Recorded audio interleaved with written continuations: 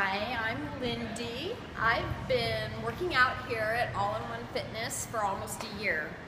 I started in March and I was considerably fluffier.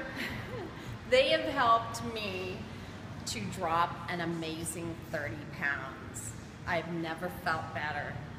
And it's all because of Kara and Molly and Jasmine and Kelly.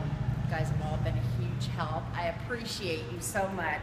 And I'm gonna keep coming here for years and stay this way.